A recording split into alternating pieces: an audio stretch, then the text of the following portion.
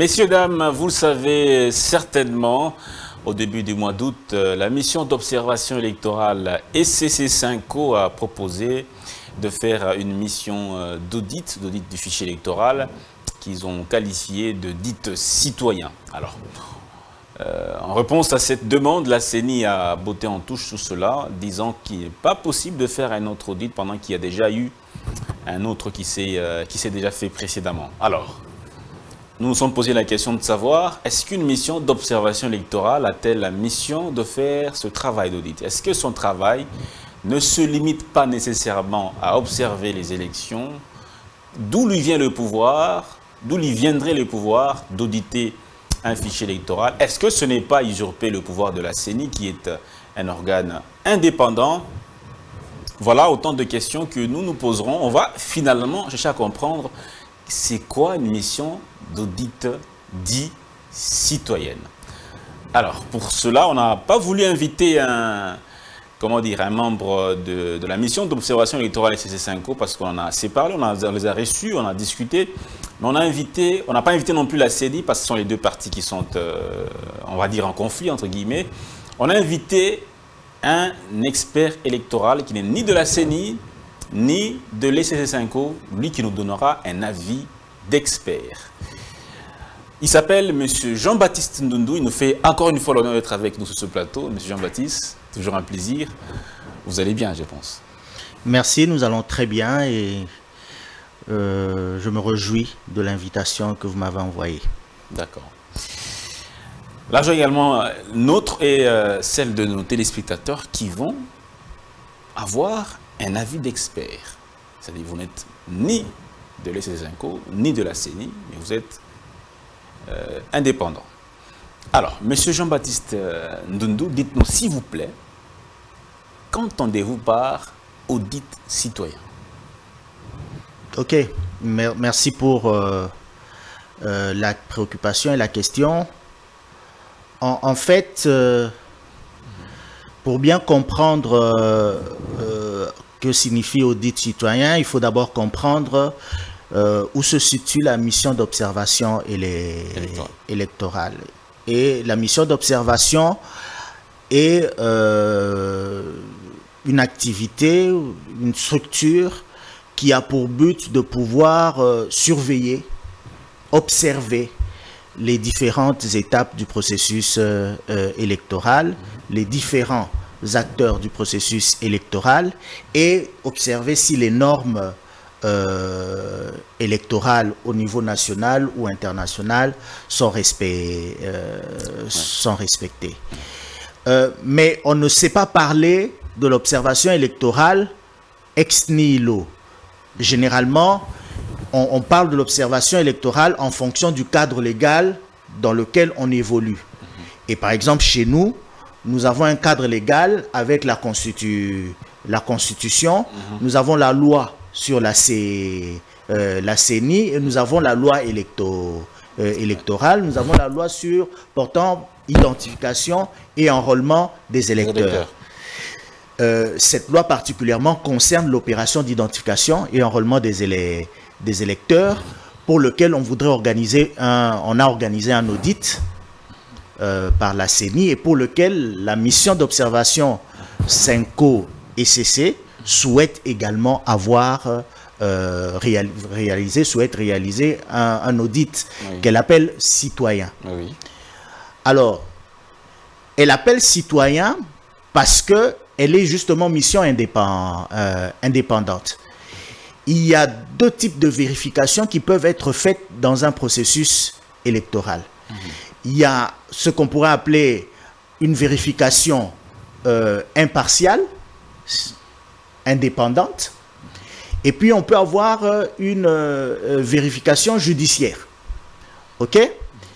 Une vérification impartiale, indépendante, qui peut être justement développée par une mission d'observation électorale.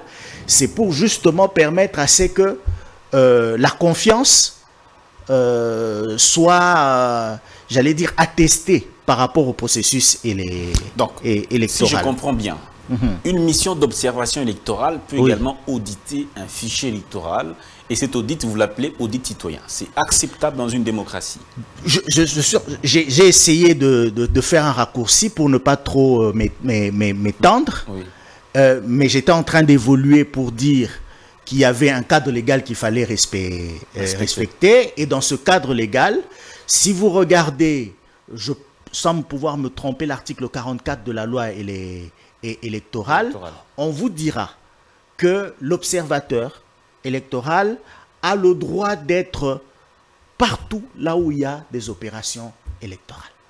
Partout. OK? Donc, partout là où il y a des opérations électorales, l'observateur a la possibilité d'y être. Qu'est-ce que vous appelez opération électorale?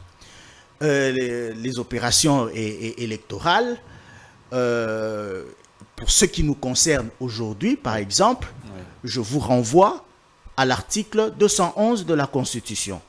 OK?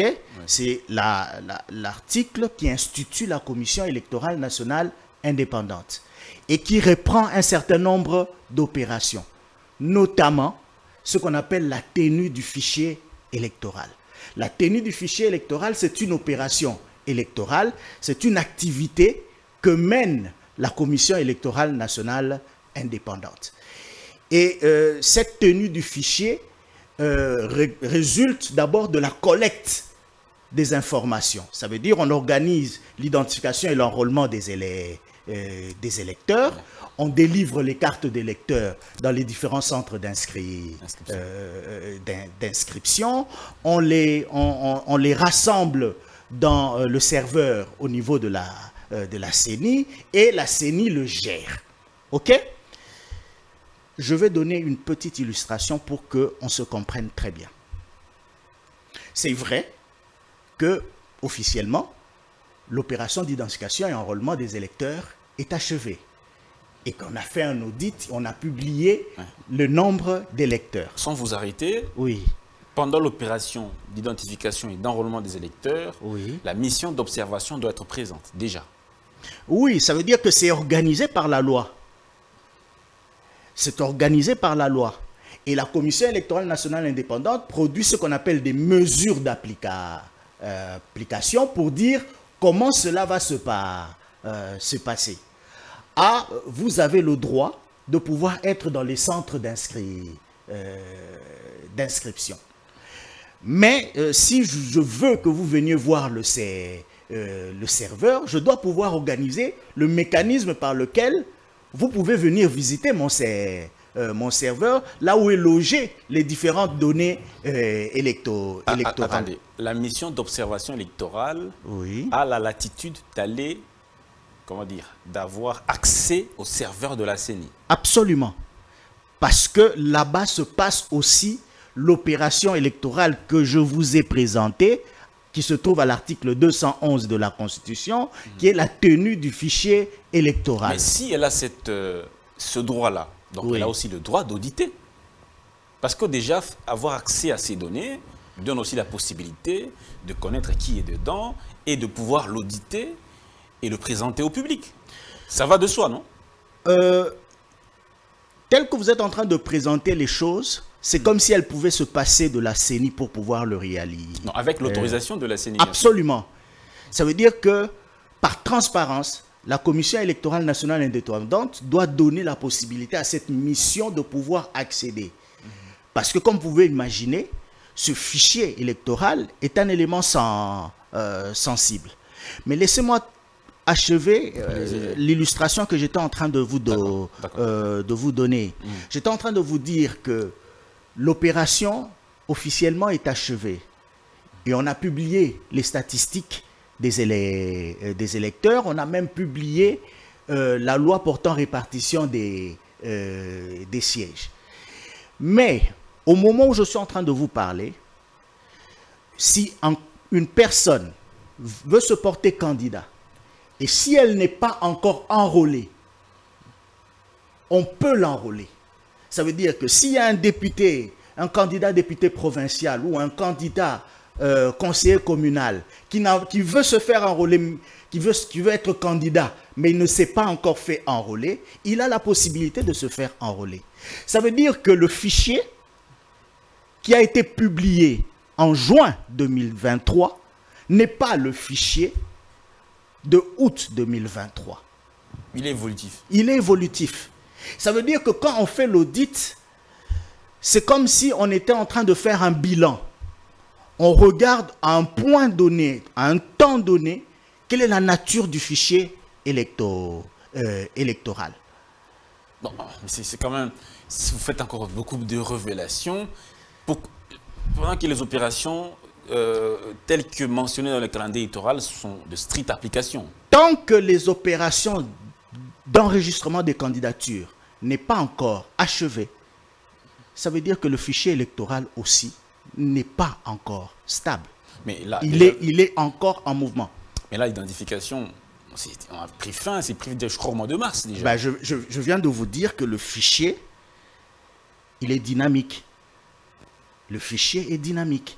Mais il y a des éléments. Et donc, je suis en train de répondre à votre question pour dire effectivement une mission d'observation mhm. des élections peut demander à la Commission électorale nationale indépendante de pouvoir auditer le fichier électoral afin évidemment de donner plus de garanties aux, différentes parties prenantes pour qu'ils puissent avoir confiance au fichier électoral. Évidemment, euh, quand la commission électorale accepte la demande de la mission d'observation, elle fait preuve de, transparence. Euh, de transparence. Ça veut dire, ah, elle n'a rien à, euh, à cacher, elle fait preuve de transparence.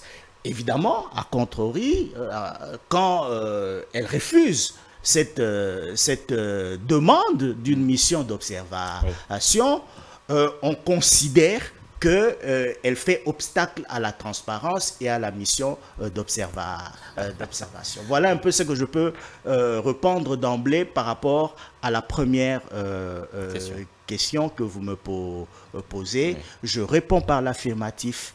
Effectivement, une mission d'observation peut très bien auditer un fichier électoral parce que une mission d'observation peut très bien pouvoir s'assurer si la tenue du fichier électoral se passe correctement. Voilà, merci. Vous avez, euh, en tout cas, ça c'est, bon, je, ne vais pas désolé, vous avez un parti pris, on nous l'avons dit en début d'émission que c'était un avis d'expert. Mais vous avez aussi parlé du cadre légal. Oui. Le cadre légal dans notre pays ne prévoit pas forcément qu'il y ait un audit du fichier électoral. Vous avez suivi la réponse de la CENI qui a dit que c'est pour des raisons de transparence que nous nous sommes soumis à cette obligation. Mais déjà dans la loi électorale, il n'est nulle part prévu que le fichier électoral soit audité. Alors, dans ce contexte-ci, est-ce qu'on peut nécessairement dire que euh, la, mission d'observation électorale, la SCC5O, peut faire ce travail sans pour autant aller outre la loi? Non, comme je viens de vous expliquer, de vous expliquer mhm même en se référant uniquement à la, à, la Constitution, on voit très clairement qu'on peut très bien essayer de surveiller, de faire le monitoring de la tenue du fichier euh, électoral. Mais la question que vous posez euh, a sa raison d'être, mhm. dans la mesure où euh, le seul endroit où on parle de l'audit du fichier, c'est la décision de la Commission électorale nationale indépendante publiant le calendrier et les, euh, électorale qui annonce l'audit externe du fichier euh, électoral. À partir de ce moment-là, comme c'est une décision de la CENI, c'est elle qui peut dire comment est-ce qu'elle compte organiser cet audit du, euh, du fichier. Et généralement... C'est elle qui fixe comment C'est elle parce que la commission électorale a la latitude de légiférer en cas d'absence euh, ou de vide euh, juridique en la, en la matière. Et à partir du moment où elle a dit qu'il y aura un audit externe du fichier, en fait, c'est elle qui doit émettre des mesures d'application, qui doit donner les procédures par lesquelles cet audit du fichier euh, électoral euh, pourrait se faire. Audit externe, comme elle a, non, audit, audit externe veut dire quoi? Exactement Audit externe, ça veut dire par une, par une structure externe à la Commission électorale nationale. Par une structure externe ou par quelques experts Les experts externes aussi peuvent auditer. ça, non. Ça, peut s'appeler aussi audit externe. Non. là se trouve le, le principal problème qui existe aujourd'hui la Commission électorale nationale indépendante a la latitude de recruter des experts et des consultants. Ce n'est pas interdit. Et quand elle recrute ses experts et ses consultants, euh, le travail qu'elle fait, c'est sous le label de la Commission électorale nationale indépendante. Ce n'est pas sous le label d'une structure externe. Le Parlement, l'Assemblée nationale, le Sénat, demanderait un audit du fichier, ça serait un, un audit du fichier externe.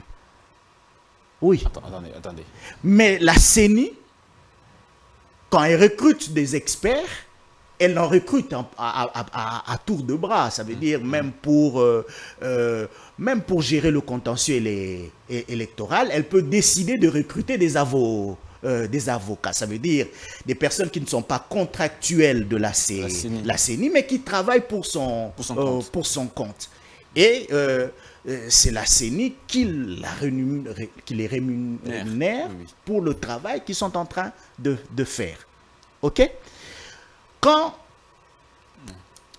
quand je donne un exemple concret, j'aime pas trop faire des comparaisons, mais je veux donner un, je suis obligé de donner cet exemple concret. Nous avons dans notre pays fait l'expérience de l'audit du fichier externe par l'Organisation internationale de, la, francophonie. La base du travail des auditeurs euh, de l'OIF, c'est la déclaration de Bamako. C'est leur texte de base pour qu'ils auditent le fichier de la République démocratique du, du Congo. C'est la déclaration de Bamako. Que dit cette déclaration? En fait, à travers cette déclaration, euh, il y a une disposition où on, demande à ce qu'on puisse avoir un fichier électoral qui soit euh, fiable. OK? Et donc l'OIF a la possibilité, comme euh, la République démocratique du Congo est membre de l'OIF, elle a donc la possibilité de venir et pouvoir envoyer. Le rapport qui est fait ce n'est pas le rapport de la CENI, c'est le rapport de l'OUF. C'est l'OUF qui fait un rapport sur le fichier électoral de la République démocratique du Congo. Elle envoie ces termes de référence avec ses outils. Ce n'est pas la CENI qui décide ou qui a des outils pour tester le, fichier, ou bien le serveur, non. Elle amène ses outils pour vérifier elle, amène sa méthodologie, euh, sa méthodologie pour... n'est pas la CENI qui dicte la méthodologie. C'est l'OIF qui annonce sa méthodologie. Elle ne peut pas faire un audit sur le fichier électoral de la République démocratique du Congo sans l'annoncer. Mais, mais, alors, il y a, toujours dans le même ordre d'idée, l'OIF a dit qu'auditer le fichier pendant 5 ou 6 jours, c'est très peu. Il faut plus ou moins 3 semaines à 4 semaines. Euh, est-ce que c'est un, argument valable? Euh, Pour moi, oui. Pour moi, oui. Parce que l'audit, d'abord, l'audit exige énormément. Énormément de... Énormément. Il faut, il faut, il faut bien analyser les procès procédure, il faut bien analyser le cadre. Les... Ça peut comprendre combien de temps? Dans notre pays, on est allé de 15, de 15 à 20 jours. 15 à 20 jours. De 15 à 20 jours. Ça veut dire environ deux, euh, semaines. En deux semaines, on est capable de faire un très bon... en, moins, en, moins, de, en, moins de, en moins d'une semaine, c'est impossible. Mission impossible. C'est difficile. Mais c'est pas impossible. C'est difficile. Et je pense que ce qui s'est passé, c'est que les, les, experts ont validé l'audit interne de la CE. Mais pourquoi? Pourquoi le ferait-il? Quel serait leur rôle de venir? Pourquoi viendraient-ils valider? Parce qu'ils sont payés pour venir auditer. Pourquoi viendraient-ils euh, euh, valider? Euh, quand vous lisez le rapport d'audit, ok, qui a été publié par les, les experts, vous verrez qu'ils sont dans une posture pour expliquer les procédures de la Commission électorale nationale indépendante. OK? Ce qui aurait été intéressant, c'est qu'ils donnent leur point de vue. Par exemple, on aurait pu avoir des recommandations par rapport à l'absence de révision ou d'amendement ou de modification de la loi portant identification et enrôlement des, des électeurs. OK? Parce que comme vous savez, la Commission électorale nationale indépendante a produit une mesure d'application en fonction de la loi qui a existé et a, apporté des, des, modifications sur ce qui avait été fait avant, notamment la capture d'iris. OK? La capture euh, d'iris, qui est quand même un élément qui a trait aux, identités perso, euh, personnelles importantes et nouveaux. OK? Et euh, on aurait pu avoir des questionnements par rapport à cette question. Le rapport n'en parle pratiquement pas. OK? Et la conséquence? Bon, ça veut dire qu'ils n'ont pas eu le temps de pouvoir le faire. Parce que ce qui aurait été intéressant, c'est de savoir quel est l'impact, quelle est la plus-value que la capture de cet iris a eu par rapport aux empreintes digitales et aux photos qui étaient prises avant. Parce que l'objectif de la capture euh, ou de la capture des données euh, euh, physiologiques, c'est de pouvoir être sûr qu'un électeur ne peut pas être replu plusieurs fois dans le fichier électoral.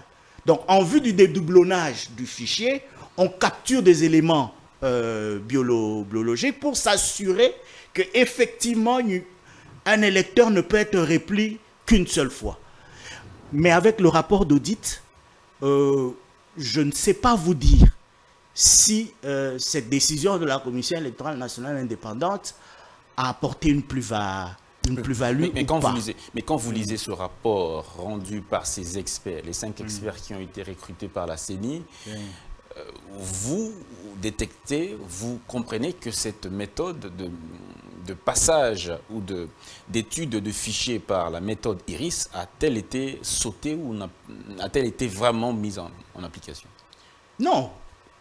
Nous avons été observateurs sur le terrain. Nous avons vu que l'IRIS a été euh, capturé. Et dans le rapport euh, d'audit, on mentionne les, les, les, les statistiques hein, des, des, des iris. Sauf que telles que les choses ont été, ont, été faites, nous ne savons pas comparer. Ça veut dire que ce qui aurait été important, c'est de dire que la CENI publie ses, euh, ses statistiques, et puis ensuite, il y a un organe indépendant, indépendant qui examine le travail que la Commission électorale nationale indépendante avait fait. Or, tel que les choses ont été faites, il y a on ne sait pas comparer. Parce que la CENI n'a pas publié les résultats. Elle aurait dû le faire. Ça veut dire qu'avant que les experts indépendants ne puissent checker le fichier électoral, elle, aurait dû faire un audit euh, interne. Elle consolide les, les données, elle les publie et dit voici les statistiques que moi j'ai publiées. Maintenant, je, je soumets ce travail à l'examen des, euh, des auditeurs pour attester que ce que j'ai fait est correct. Et on aurait pu maintenant dire, ah, la CENI avait dit ceci, mais les, les, auditeurs ont dit ceci. Le rapport d'audit et le travail et la manière dont l'audit a été fait ne nous permet pas de le, euh, de, le faire. Maintenant, il n'y a rien qui interdit ça. OK? Il n'y a aucun aucune disposition les, euh, légale. S'il y a une disposition, aucune disposition légale qui interdit cela, oui. vous, prétend, vous, vous prétendrez dire qu'il s'agirait d'une faiblesse de la loi. Bah oui, il s'agit d'une faiblesse de la loi, mais l'audit n'est pas prévu dans la loi. C'est aussi une faiblesse. Oui, l'audit n'est pas prévu dans la loi. C'est aussi une... et, et, là, on pourrait dire, comme j'ai dit tout à, tout à l'heure, mhm. le fait qu'on n'a pas un second audit du fichier est une faiblesse en termes de, transparence. Donc la, CENI, la CENI elle-même n'a pas audité en interne et n'a pas rendu public. Elle l'a fait. Mais elle n'a pas rendu public. Elle n'a pas rendu public. Et ce qui est rendu public, c'est le rapport des experts. Et pourquoi la CENI n'a pas rendu public? Ah ça, j'en sais rien. Pourtant, comme si je vous prends au mot, ça euh, répondrait à l'exigence de transparence. Pourquoi ne l'a-t-elle pas fait? Vous qui êtes expert. Je ne sais, pas le, je sais pas le dire. Je, constate tout simplement que aujourd'hui, on n'a pas euh, la possibilité de pouvoir faire euh, une comparaison entre deux sources, deux méthodologies différentes pour checker le fichier électoral. La seule méthode qui a été utilisée, c'est la méthode qui a été rendue publique avec le rapport d'audit du fichier électoral euh, qui a été réalisé par les experts en mai 2023. Est-ce que le fait que la mission d'observation électorale et CC5O veut veuille auditer le fichier électoral ne remet pas en cause l'indépendance de la CENI Non, absolument pas. Absolument pas. Elle ne peut pas faire. Les deux missions ne peuvent pas réaliser cet audit du fichier sans l'accord de la Commission électorale nationale indépendante. Ça veut dire que pour qu'elle réalise cette, euh, cette mission d'audit du fichier électoral, ils sont obligés de faire une requête à la Commission électorale nationale indépendante. Et euh, je l'ai dit au début euh, de l'émission, ça veut dire que si la CENI refuse d'accepter euh, cette demande d'audit, en fait, elle euh, donne l'impression qu'elle ne fait pas preuve de, de transparence. Impression ou réalité? Je ne peux pas donner une, j'allais dire, une décision définitive. Mais le constat, c'est quand on refuse euh, quand vous refusez un, audit, on peut attester que vous n'êtes pas transparent. En tout cas, vous ne permettez pas à ce que l'on puisse jeter un coup, un, coup d'œil sur le fichier. Ça, c'est une conclusion. Maintenant, je ne peux pas dire euh, quelles, sont les, quelles sont les motivations de la Commission électorale nationale indépendante? Voilà. Vous ne savez pas le dire Non, je ne peux pas le dire. Je ne sais pas le dire. Au moment où je suis en train de parler, il euh, y a quelqu'un qui dirait, euh, est-ce qu'il y a quelque chose à cacher? Parce que de toute façon, le fichier de août 2023 n'est pas le fichier de mai 2023. À la fin des opérations d'identification et d'enrôlement des électeurs. Oui, c'est pas le même fichier. Ça veut dire que le Mais fichier... Pourquoi, ce n'est pas le même fichier pendant qu'il n'y a que trois mois qui sépare la fin de l'opération d'identification Parce que je vous ai dit qu'entre-temps, entre-temps, on peut avoir un, dédoublonnage qui a été découvert entre-temps. OK? On, peut avoir un candidat euh, qui s'est fait euh, enrôler au moment où il est en train de déposer sa candidat, euh, candidature. C'est permis. Hein. Mais oui, c'est ce que je suis en train de vous dire. Ça veut dire que le fichier, il est dynamique.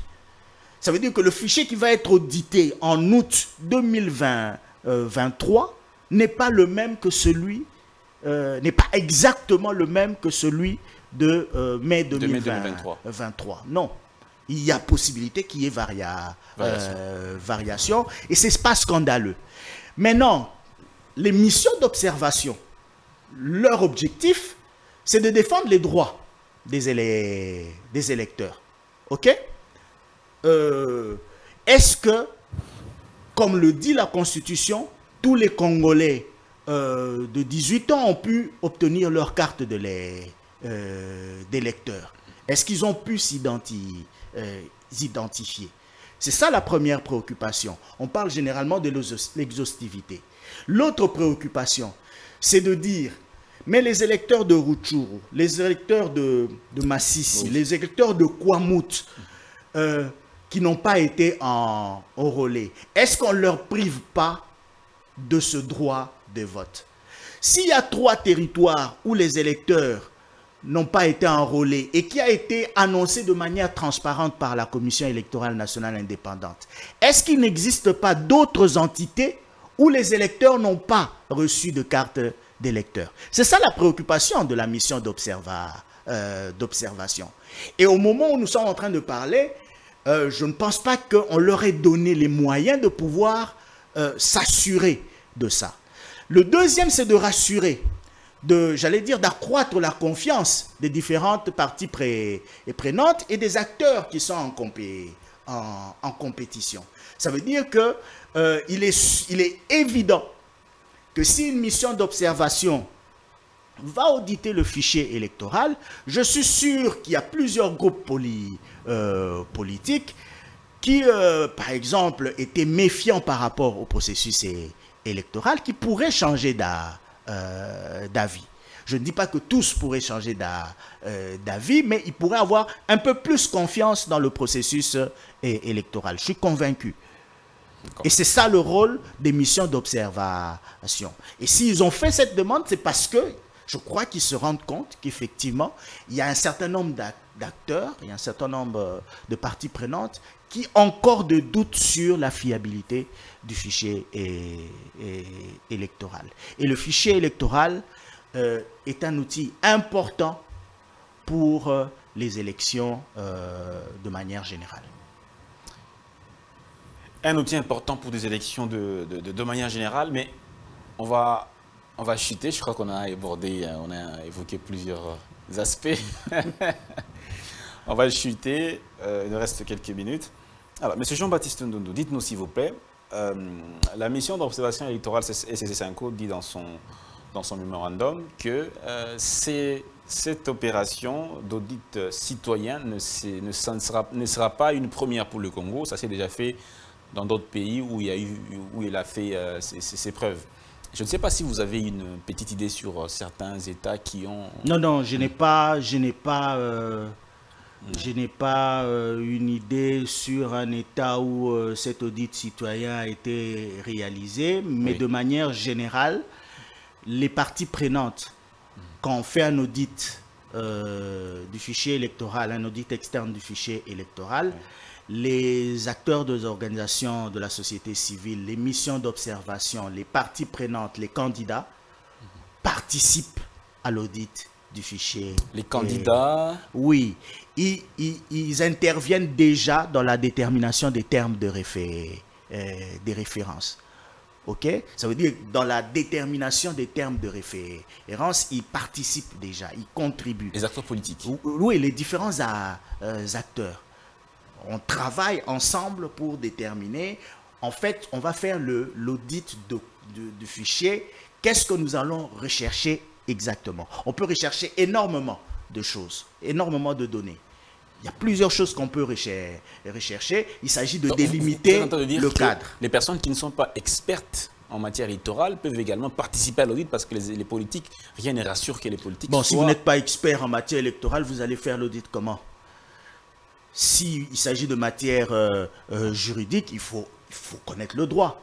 S'il s'agit de matière statistique, il faut connaître les statistiques. S'il s'agit de matière informa, euh, informatique, il faut connaître l'informatique. Et généralement, un audit où il n'y a pas un, informaticien n'est pas très crédible.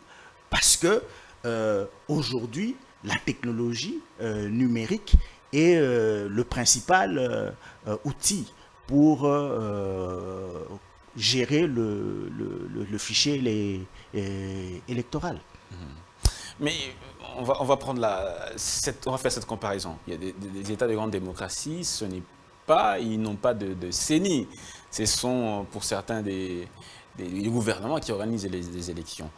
Comment ça se fait que chez eux, ça ne pose pas les problèmes de transparence Ça se pose ici chez nous, malgré que nous avons déjà un organe qui ne soit pas un organe gouvernemental? La question que vous posez, elle est, très complexe, mais euh, ça, c'est une appréhension que les gens ont.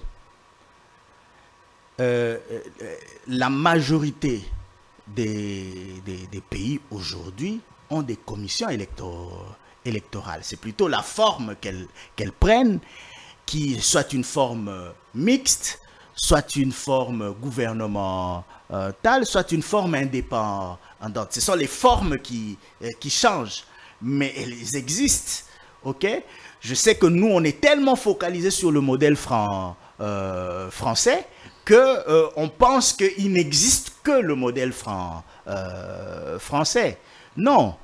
si vous allez en Grande-Bretagne, vous verrez il y a une commission électorale. Si vous allez aux États-Unis, dans le, le, système américain est encore un peu plus complexe parce que c'est chaque comté, chaque État, hein, ils ont un système fédéral qui a son entité, même s'il y a un secrétaire d'État qui euh, chapeaute euh, chaque euh, entité, chaque, chaque circonscription. Mais les commissions, les organes de gestion des élections sont partout.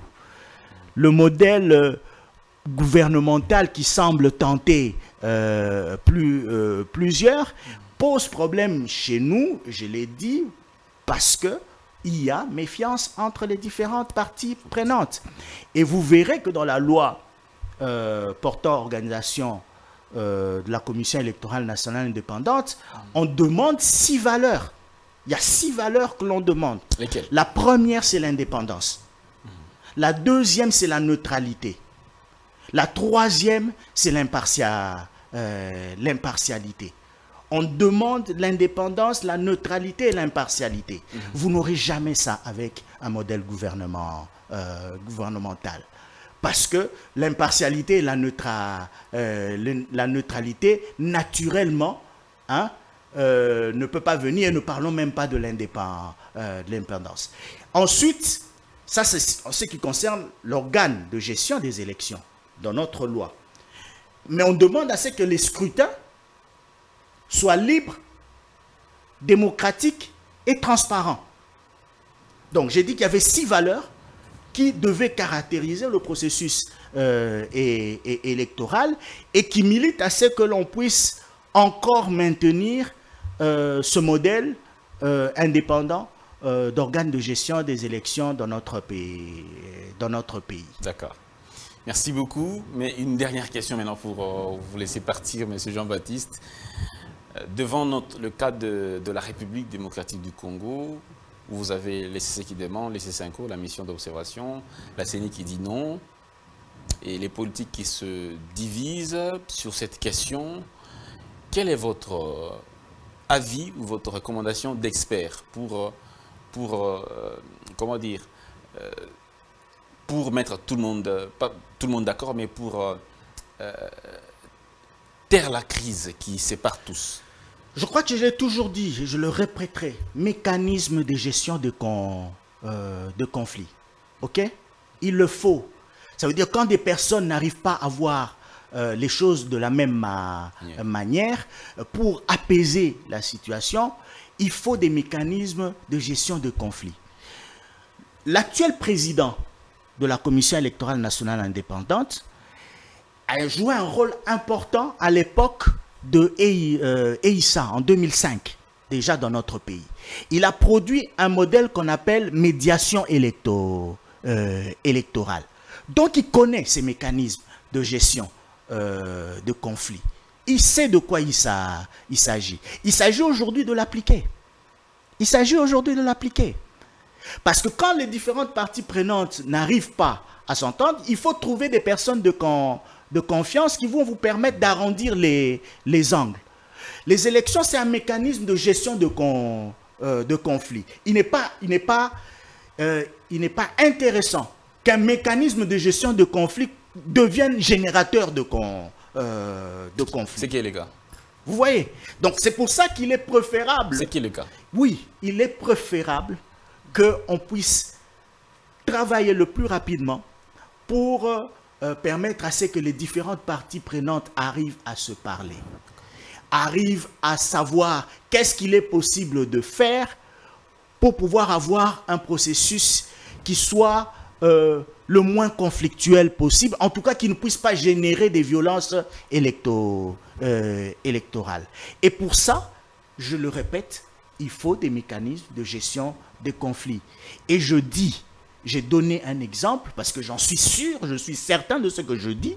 Le président actuel de la Commission électorale nationale indépendante a piloté, a coaché euh, une structure de la société civile au niveau régional de la SADEC qu'on appelle EISA, qui avait produit un modèle qu'on appelait médiation électorale. Ok? Donc, il y a des possibilités, ça existe. Il s'agit de trouver des personnalités euh, indépendantes à haute euh, à haute moralité qui peuvent faire euh, les, bons les bons offices pour essayer de voir qu'est-ce qu'il faut faire pour arrondir. Comme je l'ai toujours dit, si on fait la sourde oreille, eh ben, on va récolter, parce que le processus électoral, c'est un conflit organisé. C'est confrontation. Et le confrontation, contrairement à ce que l'on pense, c'est même à l'intérieur de chaque euh, parti. À l'intérieur de chaque camp, il y a confrontation. Ça veut dire que pour l'instant, on ne le voit pas encore. Dans très peu de temps, tout le monde va entrer en confrontation avec tout le monde. Et à partir de ce moment-là, euh, l'ami de l'ami, l'ennemi de l'ennemi, on, on, ne sait pas à quoi on va aboutir si on ne fait pas attention. Donc il est préférable aujourd'hui de pouvoir prévenir ces violences électorales euh, que vraiment je souhaiterais que ne, puissent pas advenir dans notre pays. Euh, pays nous n'en avons pas besoin. Nous n'en avons pas besoin. Merci beaucoup, Monsieur Jean-Baptiste Ndoudou. C'est vraiment un plaisir, c'était un plaisir de, vous avoir sur ce plateau. Mhm. Nous espérons que ce n'est pas la dernière fois. Chaque fois qu'il y aura un problème électoral, nous ferons toujours appel à vous pour... Euh, C'est avec plaisir que je me ferai le plaisir de vous... Euh, euh, de répondre à votre invitation. Merci beaucoup, Monsieur Jean-Baptiste. Merci, chers téléspectateurs. Eh bien, c'est l'avis d'un expert vous avez peut-être un avis contraire ou vous souhaitez également participer à cette émission entre les lignes, eh bien, le numéro est là. Contactez-nous, nous vous ferons, euh, le plaisir, nous serons heureux de vous recevoir sur ce plateau. Merci beaucoup à mon équipe technique, euh, Jordi Kalonda, Chris Bouka, Jamima Panzou. Merci et excellente soirée.